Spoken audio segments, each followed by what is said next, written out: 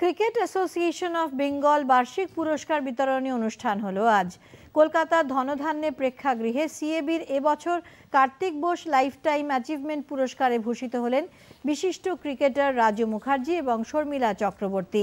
বাংলা ক্রিকেটে বিশেষ অবদানের জন্য এই পুরস্কার আজ তাদের হাতে তুলে দেন সংস্থার সভাপতি স্নেহাশিস গাঙ্গুলি।